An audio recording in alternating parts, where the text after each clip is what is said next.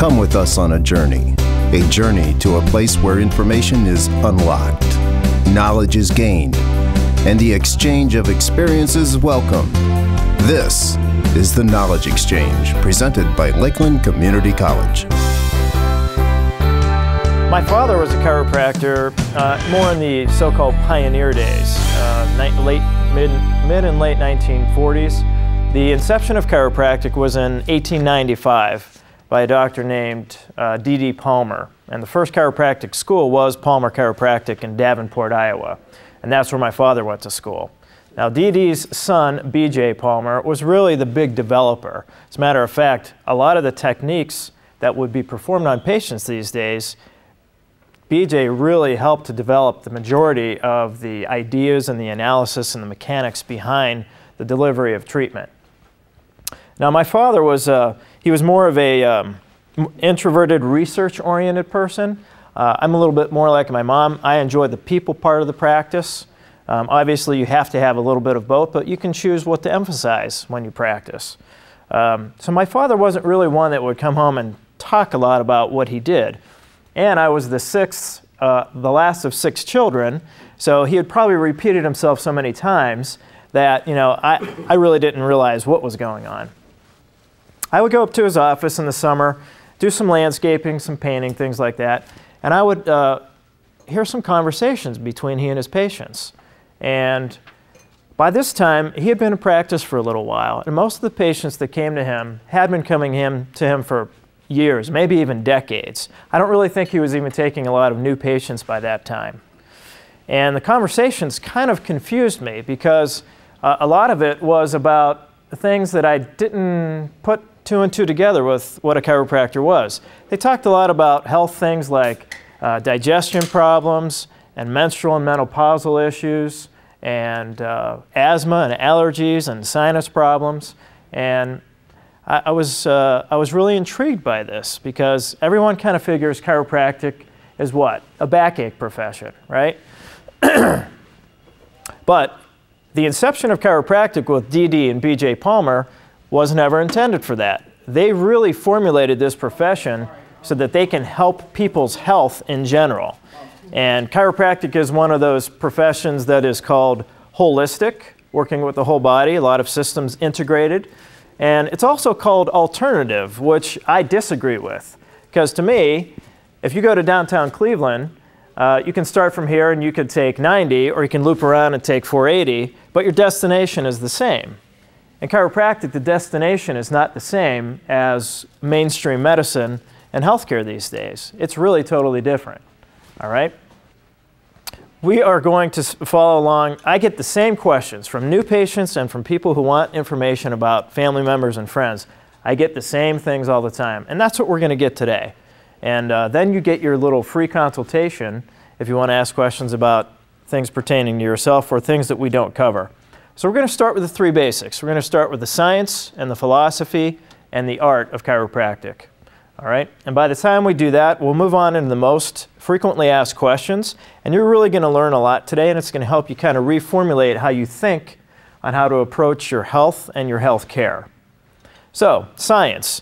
The science of chiropractic, by definition, is the relationship between the structure of the body and how the body functions. Primarily, via the relationship between the spine and the nervous system.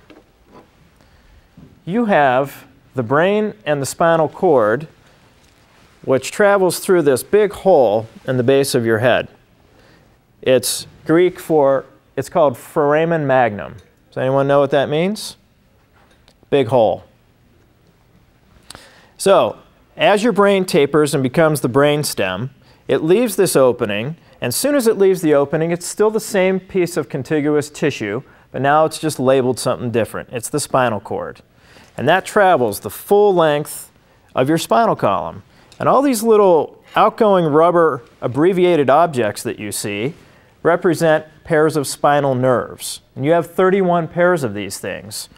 And on this sheet that you have, you immediately start to appreciate the gravity of the importance of the nervous system. Everything, and I mean everything that you possess, is controlled by the nervous system. All your muscles, all your systems skeleton, circulatory, lymphatic, elimination, digestion, reproductive. Every system you possess is coordinated by this nervous system. The more research that is done, the more they find. Even your changes in body chemistry, even your ability to resist getting sick or not getting sick. They found that when you have a germ invading your body, when the white blood cells have to do their work to fight things off, it is directly linked to communication from the nervous system. That's how a person's strength or lack thereof may dictate whether they have predispositions to getting sick frequently or not. Okay? So,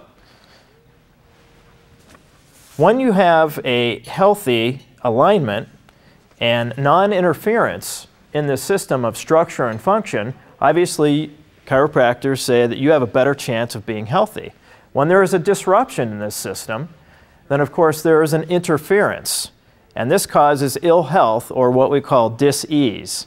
It's not a disease like the medical doctors say. We say the body is in dis-ease. It's simply not functioning like it was designed to.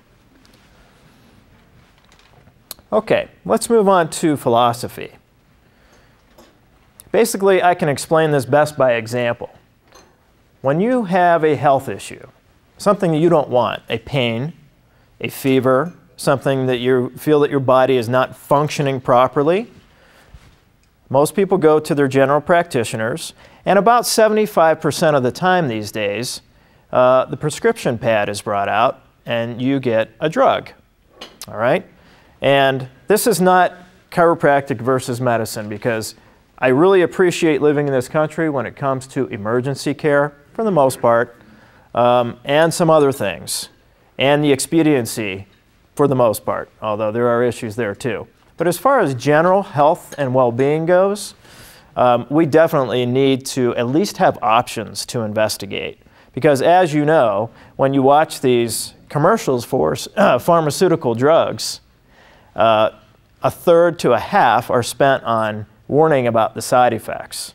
And there is no drug without side effect. It does not exist.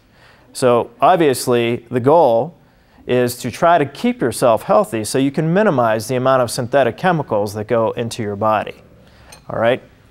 So, in chiropractic, we want to try to embrace signs and symptoms. You know, we don't see things like fever or a person vomiting or a person having pain as necessarily a horrible thing. Your body has an ability to tell you when something is wrong.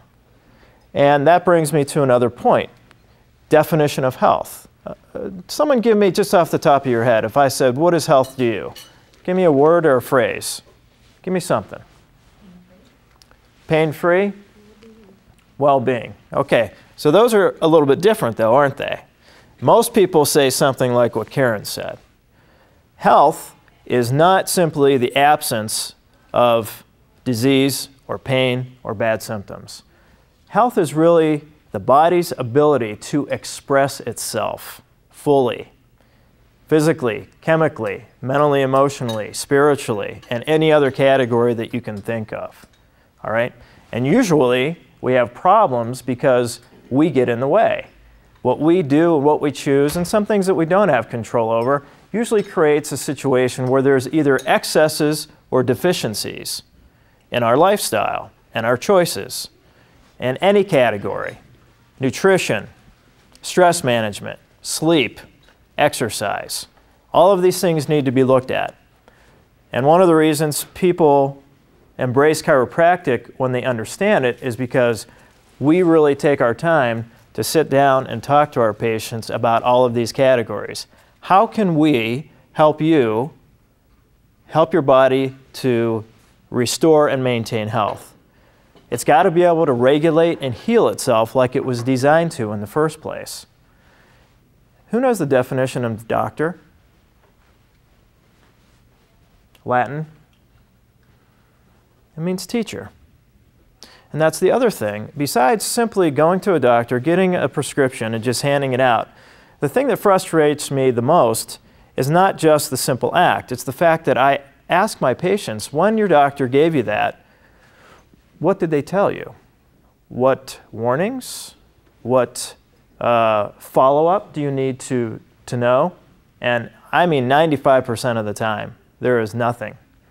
And that is what the bad habits have become in the medical pharmaceutical complex is that prescriptions are written so frequently and the habits have gotten to the point where I kind of feel bad for some of the younger doctors or maybe even not so young. I went to school with a lot of, uh, a lot of students who became MDs or DOs and I communicate with them still frequently. And they were really well intended in school. But once they got to school, you have these pharmaceutical, pharmaceutical companies saying, you know, here's represent, and, and I don't want to get political, but basically the habits have come full circle where an office visit isn't spent doing a lot of education. All right, it's usually given the prescription and saying here with very little bit behind it. Okay, let's talk about the art of chiropractic. I have never seen on an examination of any of my patients or anybody, if I'm doing lectures sometimes, I'll take a couple people aside, they'll ask me a question or two. I'll take, a, take a, a, look at the way they line up or their posture or their motion. They'll tell me a little bit about their specific location of problem. I have never seen a person that lines up and moves perfectly. And if they're a patient of mine and I do a full spinal exam, orthopedic neurological tests, posture analysis, x-rays, I have never seen a person again have perfect structure, perfect motion, and perfect function. It just doesn't exist.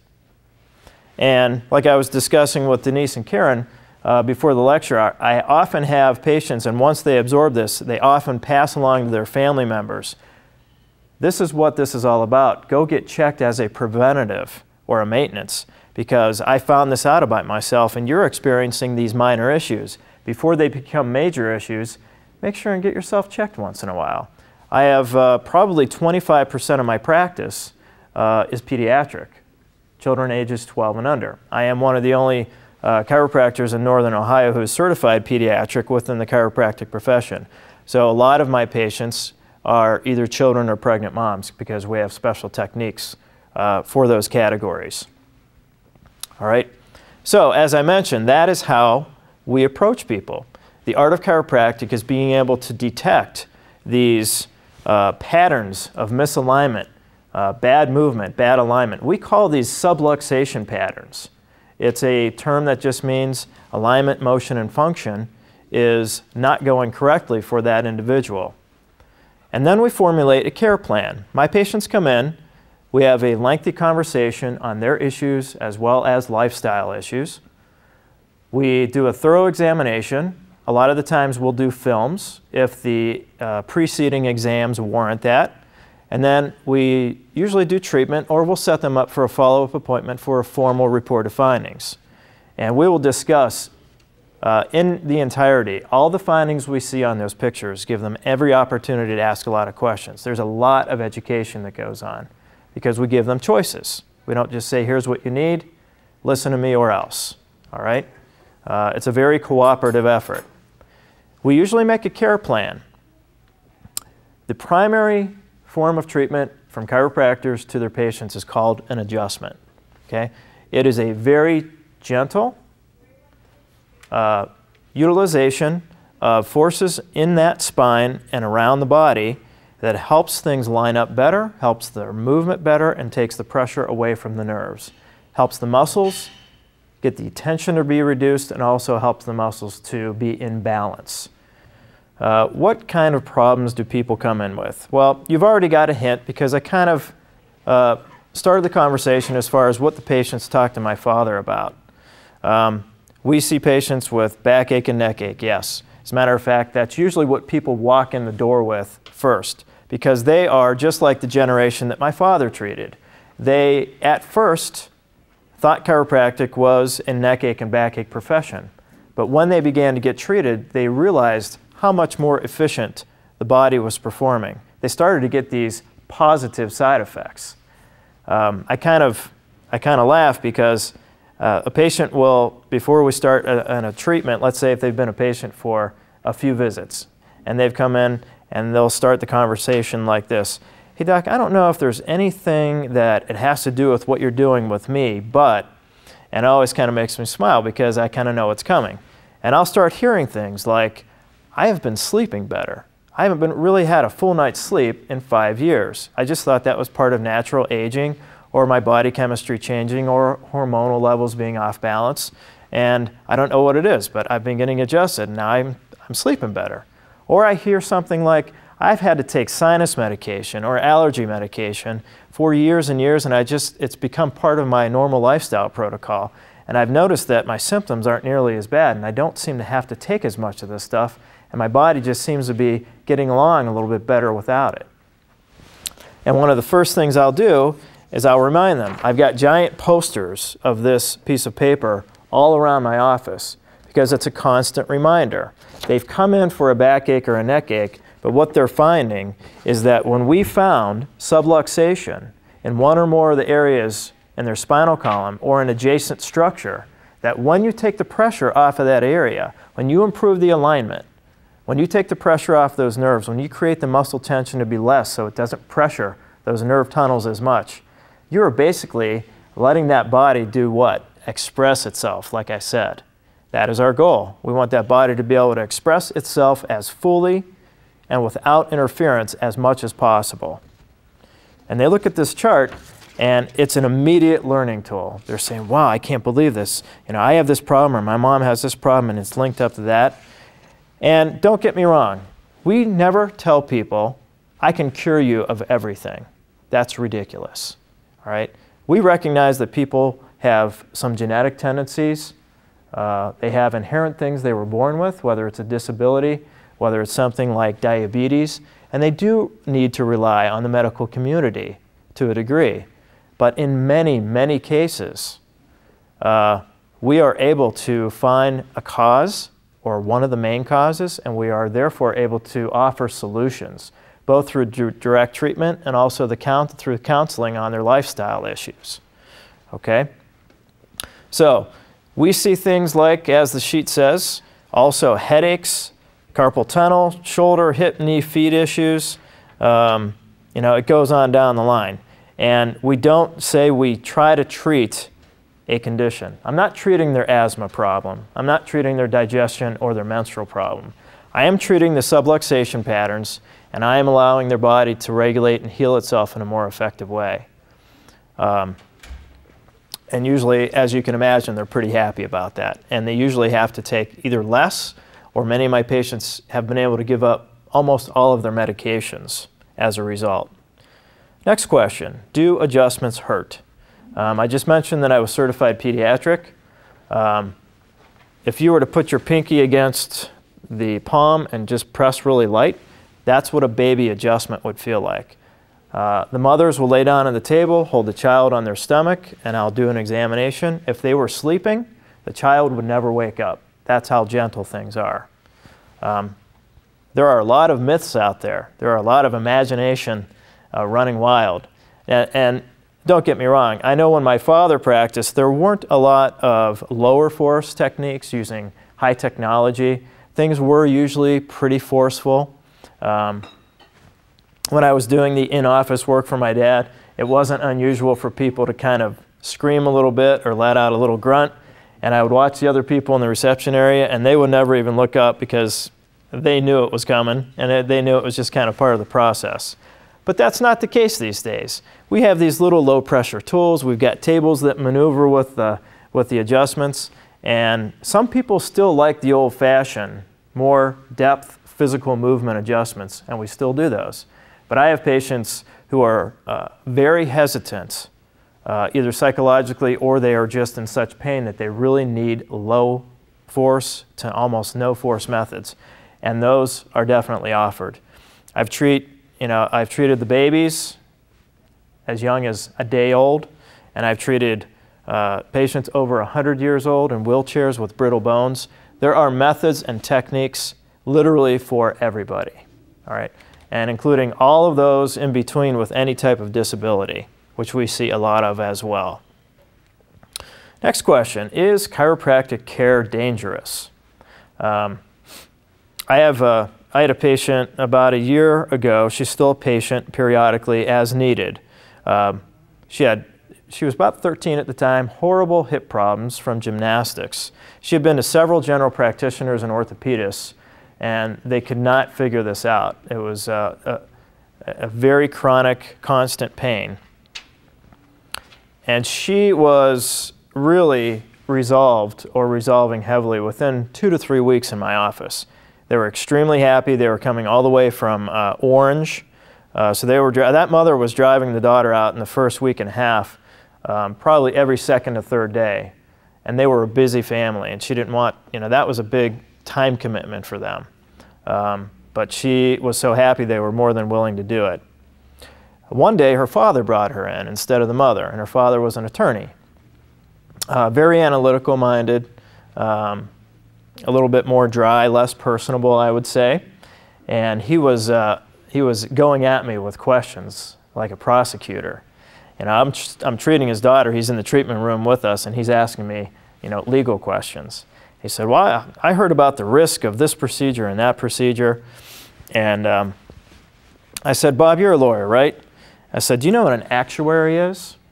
And he said, Of course I do. So, who are actuaries? They have to figure out with insurance companies what the predictable risk is. These people pore over numbers and statistics. And so they have to determine things like when a certain type of healthcare provider has malpractice insurance. And I said, I want you to look up the malpractice insurance for any of the medical doctors, especially specialists like orthopedists uh, or OBGYNs.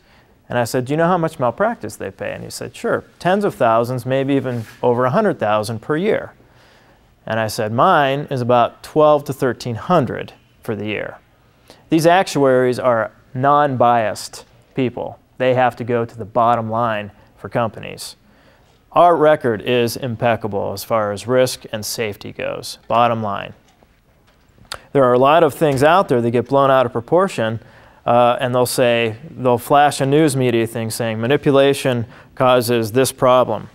But if you dig deep, oftentimes what happens is that there was a karate instructor in the class that did a manipulation on a person. So they don't say that a chiropractor did it. They just call it a spinal manipulation and they expect people to put two and two together. And oftentimes it was never even done by someone professionally trained. So, yeah, those types of things. And if, as you guys know, in the media, bad news gets a lot of attention and gets blown up. Okay, do I have to keep going back for chiropractic care forever? This is another myth. And I'm going to get into the, the gist of my answer in a second, but um, preceding, it kind of makes me laugh because I'll often, you know, if a patient comes to me with that, I always like to give them a little bit of a hard time. And I said, if you had a heart attack and your doctor found that you had high blood pressure, high cholesterol, high triglycerides, on down the line, and they said, you needed to change your lifestyle, you needed to change what you're eating, you need to exercise. Let me ask you a question. How long do you expect that you would have to do that? What's the answer? The rest of your life. As long as you want to be well, correct? So they say, yeah, yeah, I guess so. Um, but the answer is this a good chiropractor with good education to their patients really should be able to get really encouraging results to at least let that person know that they are improving within a really reasonable time. I tell my patients in my office, after we assess everything and go over a care plan, I let them know. I said, if you don't start seeing at least a little bit of encouragement after three weeks to a month, and these are people with problems that could be chronic for decades, but I still expect them to at least see a window of hope by that time. And I tell them, if you don't, we're going to look into things. They may be abusing themselves on a daily basis, whether they have a choice or not. They may have a job that's very uh, demanding, either mentally, emotionally, or physically, and it does not allow their bodies to go through the self healing process as efficiently.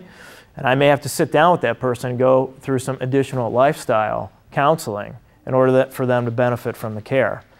a lot of them don't really intend to cooperate from the first place.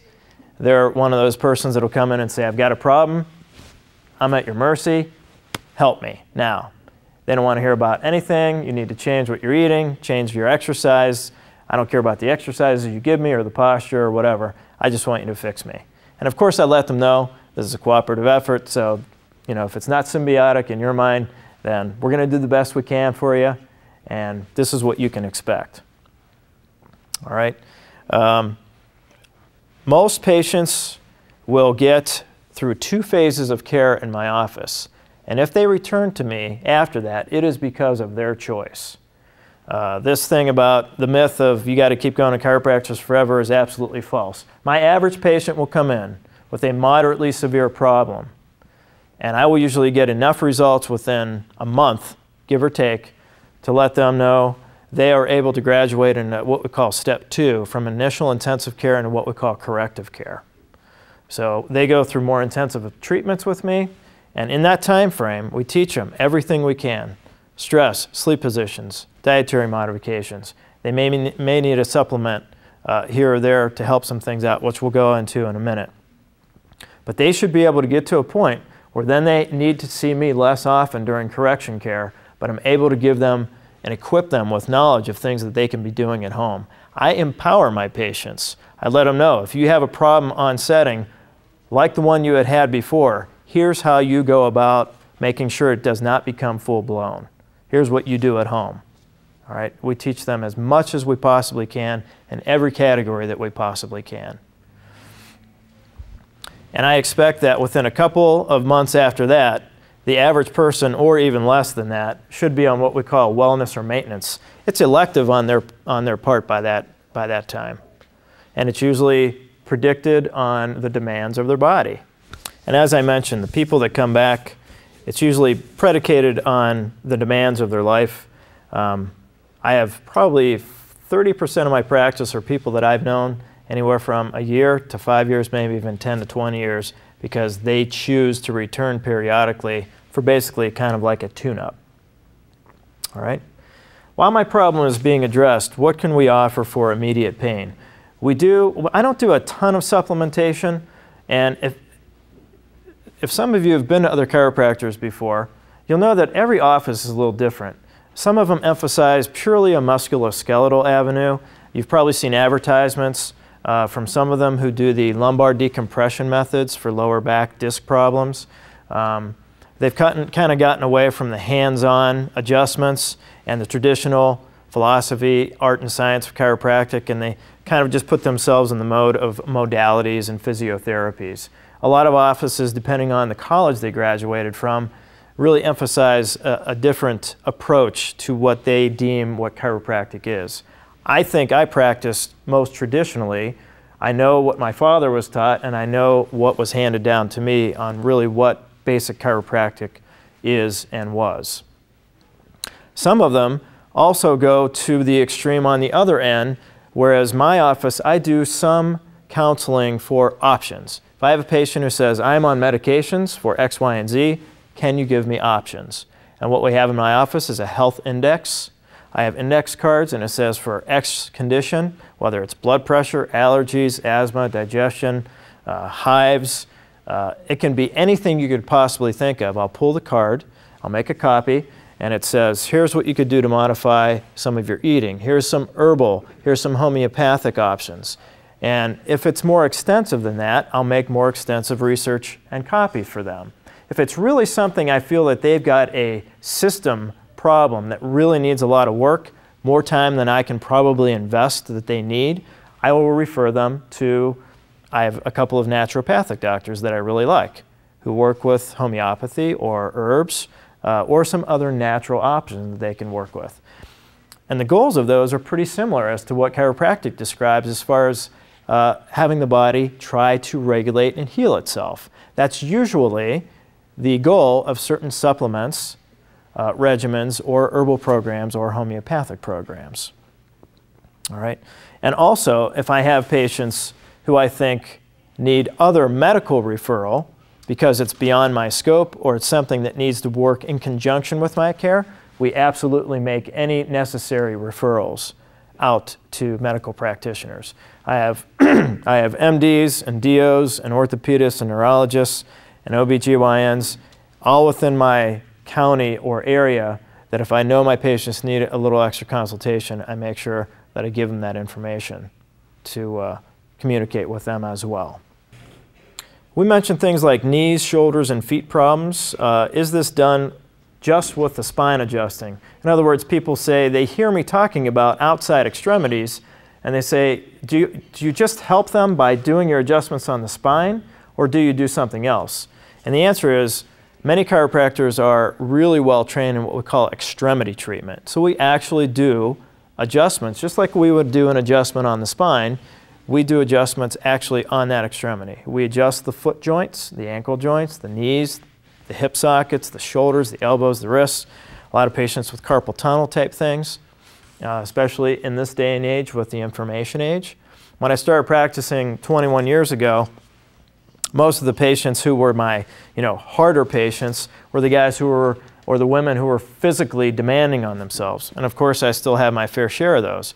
But as things have progressed into a lot more computer work, a lot more uh, time in the car, a lot more time at the desk and on the phone, uh, I get a lot more of these repetitive chronic issues with extremities and posture as well. All right? So we do a lot of the outside work. I'd say about one third of my patients on every day, uh, uh, the average day, in addition to their spinal care, we have to go to the outside extremities because feet, for example, affect spine and hip mechanics tremendously. And if I can't get a patient's low back condition to respond, a lot of the times it will be something that they need in their feet corrected. And it might be an orthotic, it might be the adjustments, it might be a combination of things. And we try to keep things as economic as possible. A lot of patients don't need custom orthotics, they just need some adjustments and they need to wear better shoes, maybe with a store-bought insert, but they need to wear them all the time. You know, if you have hardwood or tile floors and you have not so great arches in your feet, you don't want to be walking around in bare feet or socks all the time as you get older because the strength in the connective tissue in your arch to be able to form that bridge in the arch of the foot is going to weaken over time. It's going to make your foot problems worse, which will make any prospective joint problem above that worse. Your knees, your hips, your back. All right? You don't really have to spend a lot of money in a lot of cases. You just have to be educated and you have to be willing to make some changes you know, in your house. And they're not really bad changes. You know, a lot of people are like, well, I don't want to wear my shoes all the time. I like to go barefoot all the time. Well, you have a leg length difference of 10 millimeters and you have no arches. So if I do this adjustment and you pay me for it and then you go home and you don't take care of yourself, what good are you doing, right? So a little bit of change sometimes people have to be willing to do. What about cost? Most insurances cover some, uh, you, some cover a lot. Most insurances, you're going to have some coverage with chiropractic care. Um, in my office, I tell the patient right off the bat so they don't misconceive where I'm coming from.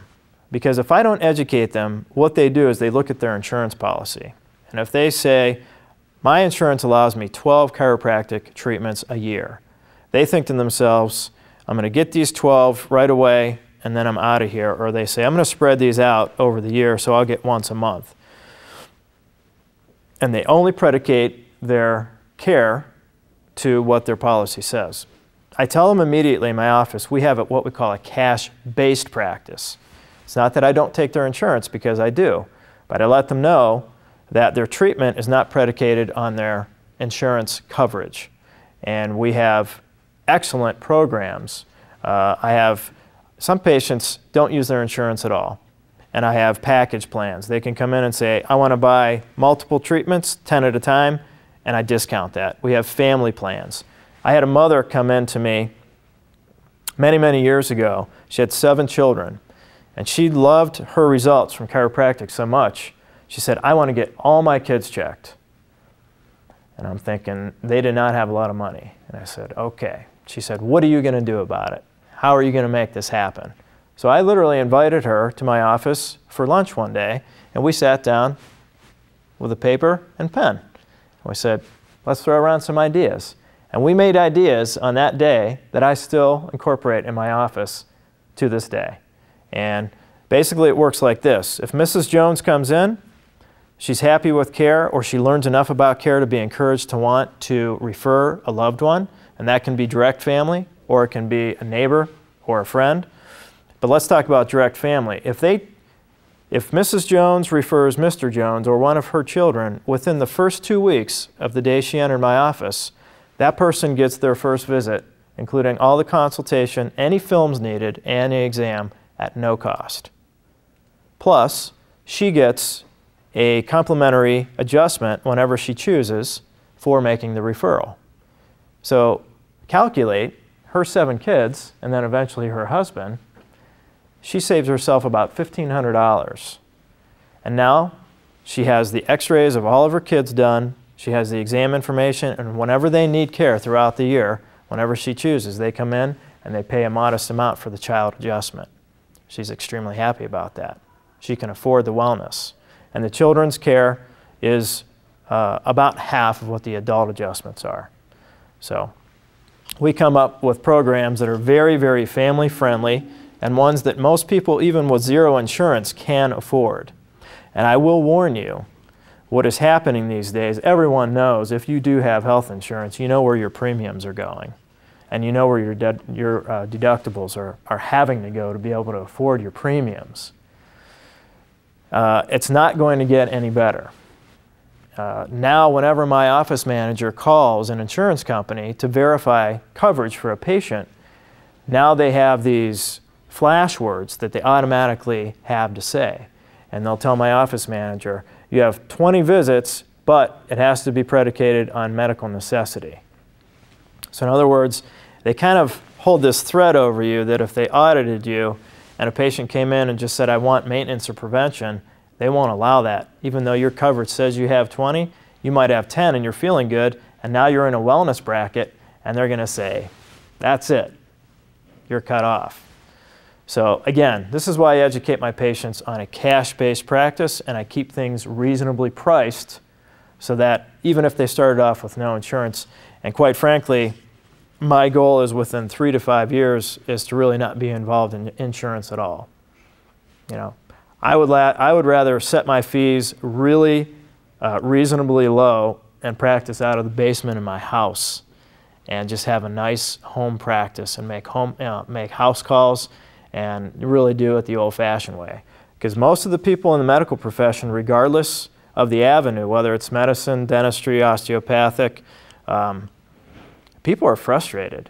They don't feel like they can walk into a room with a patient not having to be preoccupied with the inundation of paperwork and you know all of the bureaucracy. It's ridiculous. I teach my patients, you know, look at yourself as if you need two things to keep yourself healthy. You need information and you need to take responsibility. And our philosophy in my family is that we've always take, taken the highest deductible possible that we think we can afford, and then we spend the money that we think we're saving on a month to month basis on better quality food, on exercise, on things that keep us healthy on a regular basis. If they didn't have chiropractic care with me, it would be also used for chiropractic adjustments periodically. And uh, that is really a wellness model that a lot of people will need to embrace financially.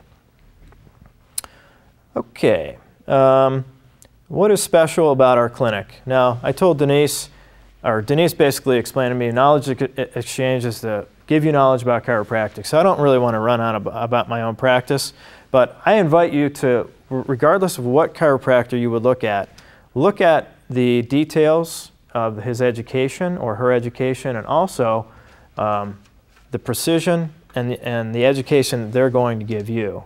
Uh, my father wrote two books on technique and methods. Obviously, I was uh, presented with a very good example because he cared so much about learning so many methods and integrating so many things. Um, there are, if you learn one or two techniques wonderfully, you might be able to master those, but you will always have people who walk in your office who will challenge you. You need to keep an open mind and constantly learn with continuing education, and you need to learn as many te techniques as you possibly can. Because like I said, I treat little babies, I treat elderly, I treat people with disabilities, and everywhere in between. You've got to be equipped uh, with many tools in your tool belt to be able to do that.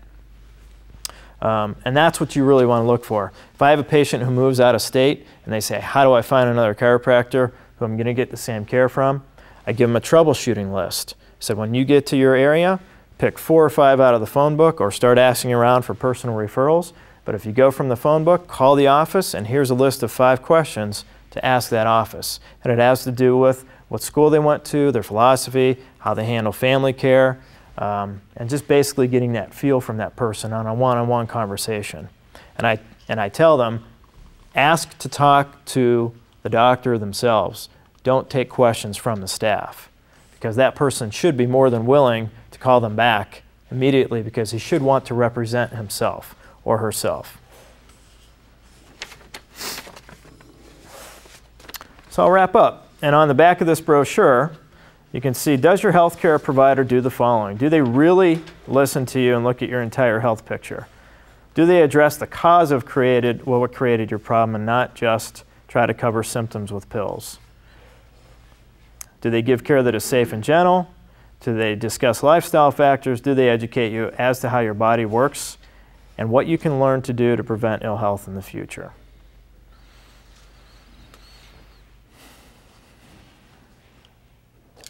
I went a little over. Now you got me started late. And I'm sure if any of you have questions, it probably pertains to a lot of other people's same questions, so feel free to throw anything out. The memory foam or even the, the sleep numbers, are they actually um, beneficial to people? Pillows and mattresses are really personal preference. The benefit you'll get with the Tempur-Pedic type thing is that the material will come in contact with all undulations in the body, okay? The, com- the Select Comfort, um, most people I've talked to like them, but I'm telling you, it is it really is a personal preference thing. You can't really go too wrong with that because you know you're laying on something more traditional, but you can you know you can inflate it to your preference. But really, regardless of bed, you you have to have um, placement of pillows either between the knees or under the knees, depending on your position.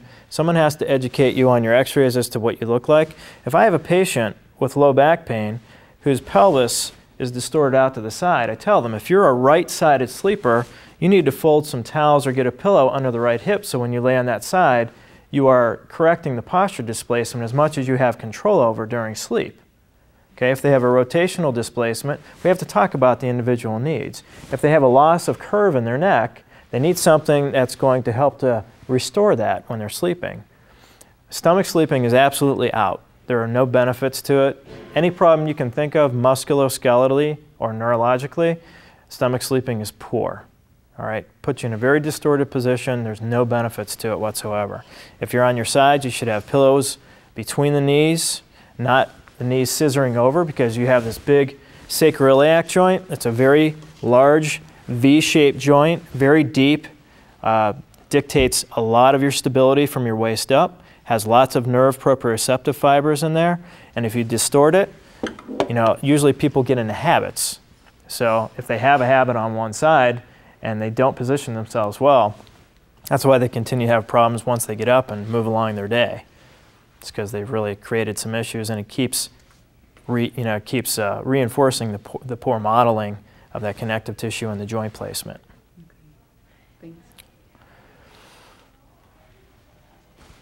Do you ever work with physical therapists or anything, or your?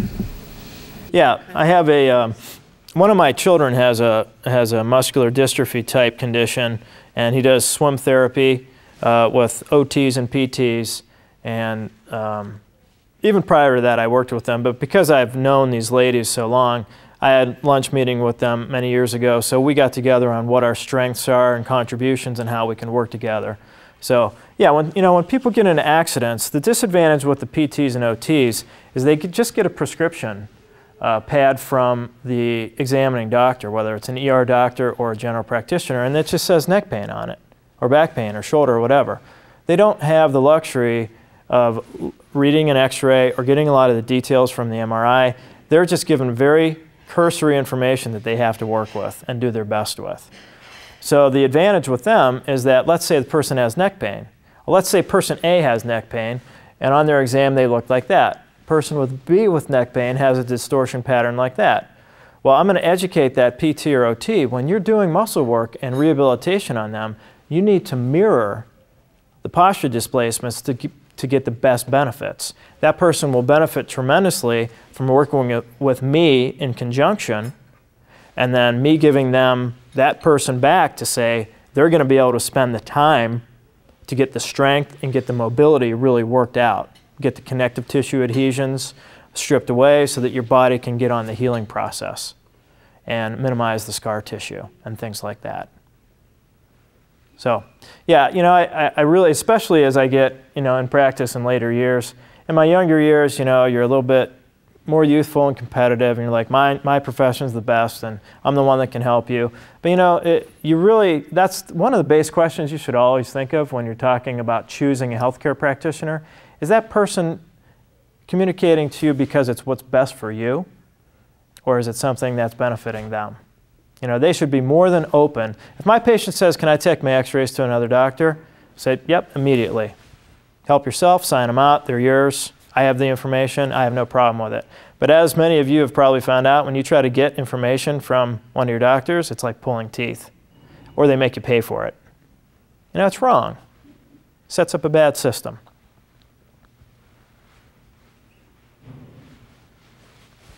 What's it take to become uh, licensed to practice in the state of Ohio? I went to uh, undergrad with a, a, degree in biology. Uh, you don't need that, but you need almost the same amount of prerequisites that you would need with a undergraduate biology or chemistry degree.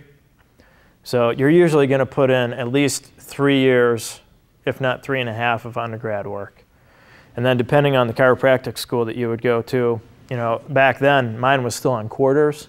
Now most of them are on either trimesters or semesters. And then some of you, some of them give you choice to take a couple summers off if you want to. Some of them encourage you to go straight through because you start off with a given class and they just, you know, my school at the time was actually more total hours than medical school was. It was 14 quarters straight through, no summers off. And then once you got into about the seventh quarter, you were taking 25 to 30 quarter hour classes plus clinicals and labs. So, intensive. Well, that's your schooling, but what about the license from the state to practice? So obviously you have to you have to get your degree from school. You have to have three parts of national boards. Maybe it's four parts of national boards. Depends on the state. And then of course you have to sit for state boards. So and with some, and it depends on the state. My niece just graduated a couple years ago, and I think if you took all four parts of national boards, you were exempt from part of the maybe written section of the state board. Everyone's a little different. Sure. Anything else? I know somebody that raves about her chiropractor, but she also said her best friend went to one and ended up paralyzed. So you hear these horror stories. It's usually the what was not done preceding. You know, if you take your good history of your patients, you know, if you have a prime example, if you have a patient with a history of hypertension, then the only adjustments you would ever do in the neck area would be ones that have no torque or no rotational velocity whatsoever. You know, and there's no need to even have to worry about it because there's so much technology that you know, those things are very rarely done anymore. So, and of course, as you mentioned, the, the negatives really get blown out of proportion. And um, a lot of the times, what they have found also is that, uh, let's say a patient a day or two after having an office visit had a TIA. What's, what they found out on that person is that it, it had already been waiting to happen. And it was a very much of a coincidence on the timing, and when they put two and two together, you know, often they'll include that as part of the, the blame or whatever. The incidences are literally one in anywhere from two to three million. I mean, if you look at the, if you look at the incidence of the uh, percentage of problems with prescription drugs and the, and the deaths per year due to medical miscalculations, or side effects from prescriptions, I mean, it's astronomical in proportion. So, you know, it's not a perfect world. But, You know, that's why you have to search out someone who is uh, technically sound and has a good reputation, what, regardless of profession. What would you, what kind of suggestions would you give to give to our children? What are some good tips that we could give them so they grow in a little healthier style? Well, as you know, you know when you see an average child or teen or preteen sit, the first thing you see, and they got the game in their hand and they're doing this. All right, so you know, I, it depends on what kind of relationship you have with your child. Oh, I don't understand. So, you know, it's just oftentimes it's helpful when it comes from someone like me because, you know, they're smart. When they see a picture of an x ray of them, uh, they understand it. You know, and I have had patients who say, you know, my child really is uh, obstinate about listening to the changes and things, but they're like adults. When they see something, you know, some of them still don't listen, but most of them really make an effort to at least make those changes, especially if they're hurting. You know, if they're hurting all day long, it's you know, it's to our disadvantage because the position that's worst for our bodies is sitting. No flexibility, optimal compression, usually poor posture, fatigue. You know, there's, there's practically nothing good about sitting. If I had a job with uh, uh, sitting responsibility majority of my day, I would either sit on an exercise ball or I would get a kneeling chair only. And that, you know, you get the stimulation and circulation. Uh, you're not as apt to sit there for hours and hours. You know, you're, you have the propensity to want to, you know, at least get up for 30, 60 seconds and maneuver around. And they actually make chairs with the exercise ball put in a molded cylinder. So it has a chair back to it, but what you're sitting on is the actual ball itself. Um, so, like I said, if I had a sitting job, I'd either have a kneeling chair or I would have. Do you guys know what a, a kneeling chair is? A posturally correct chair? It doesn't have a back to it. The sitting surface is angled, and then there's a, sit, there's a surface for your knees. So you literally are kind of like perched like this and there's no back to it, it makes you work the erector spinae muscles in the parallel to your spinal column. And again, anything that makes you work the muscle a little bit more, subtracts the compression, keeps the circulation going, you know, because otherwise your discs are just static all day. And those discs are 90 plus percent fluid. And one of the problems you'll get with discs is that you'll either have them tilted a little bit because your alignment or posture is poor, and they'll start bulging out and creating pressure on the nerves, and then you'll get that nice sciatic pain zooming down the leg, or that disc will progressively just become dehydrated. Picture a wet sponge, new, that's a analogy to a healthy disc. Then picture a desiccated, dried out sponge, all flaky. That's what your disc becomes if you don't keep that circulation through it. And if you don't have the good alignment, then the units work ind independently different. So you get some that work good, some that work very poor.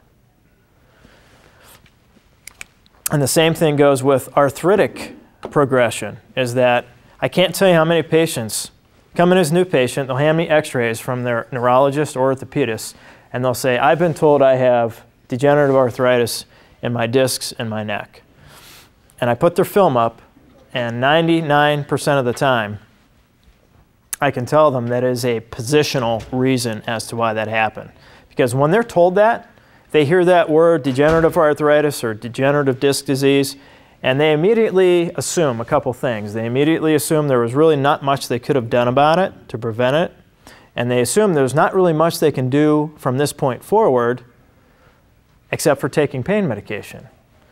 So what I teach them that sheet is really not that great, neither is the model. The seven vertebrae in your neck should form a lordosis. It's a forward-facing contour, like this, okay? If that normal amount of contour is there, the more textbook normal it is, the better, because all seven units will divide the responsibilities proportionately of weight bearing and range of motion. But what do we do all day? In addition to the, what I showed you here, you almost, when, whenever you're in a large group from now on, a classroom, a church, a mall, whatever, look at people from the side view.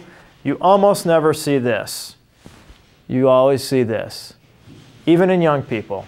And what's happening is that their skull, which is 8, 10, 12 pounds, is now sitting in front and it takes the normal curve and it makes it flat. And so when that person hands me the x-rays from the orthopedist, I already know what I'm going to see. I'm going to see an anterior head translation. I'm going to see the fifth or the sixth disc in their neck deteriorated. And I'm going to see number one, two, three, and four look perfect.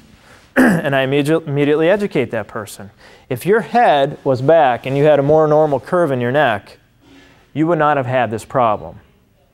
And the good news, this is one of the biggest gifts about chiropractic, is that in that instance, the person says, okay, so you're going to try to fix that number five or that number six?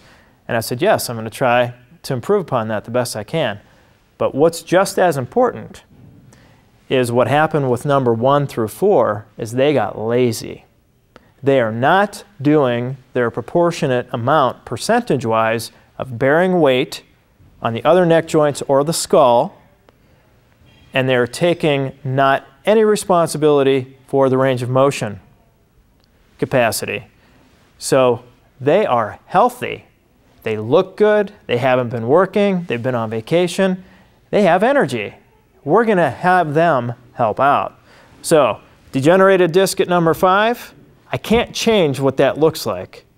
But what I can very easily do is change the shape of the others and get the head moved to a better position.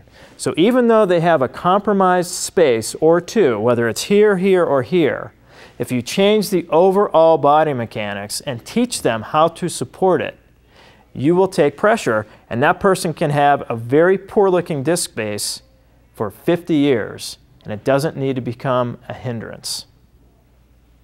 But if they don't do what's good for them, it will continue to cause a problem because they're not taking the other areas and having them helped nor learning about how they can position themselves to minimize the problem.